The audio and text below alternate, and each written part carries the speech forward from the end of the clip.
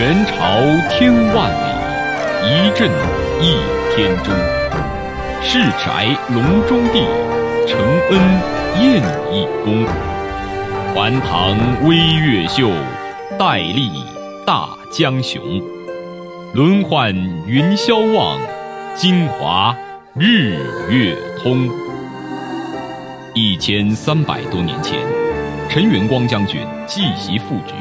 率众平息蛮辽萧乱，建制漳州。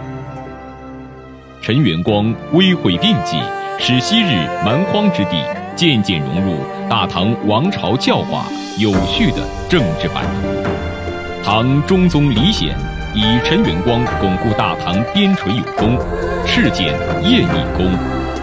宴义宫建成于垂拱二年（公元686年），那是正义大夫。岭南行军总管陈元光进谥漳州刺史、潮散大夫时，所以世称大夫第。历北宋重修，以开张祖庙奉为公庙，行春秋二季。南宋绍兴十三年，加封开漳州主圣王。清乾隆四年，御书唐高宗四典开张圣王，自此。陈元光登上神坛，受万众香火。二零一三年，宴义宫被福建省人民政府公布为第八批省级文物保护单位，加匾“陈元光故居”。如今，宴义宫已经成为海内外开张将士后裔和海峡两岸同胞及东南亚开张圣王信众的共同历史文化遗产。也是漳州市珍贵的名人故居与社台文物建筑之一。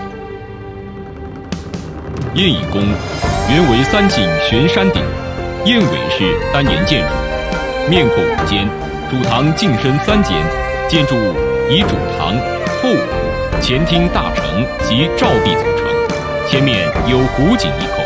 现存建筑俱为清代及明初遗物。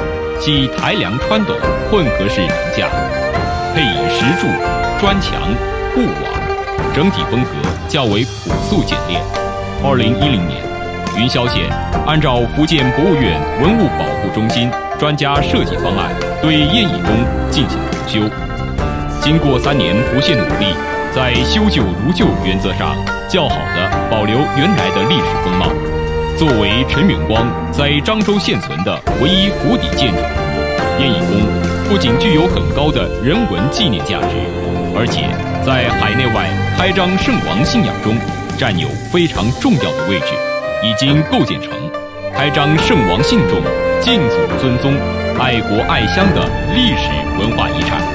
另外，燕义宫作为重要的涉台文物。早已成为维系两岸同胞民族情感、亲情相依的精神纽带和扩大张台两地文化交流的一个新平台。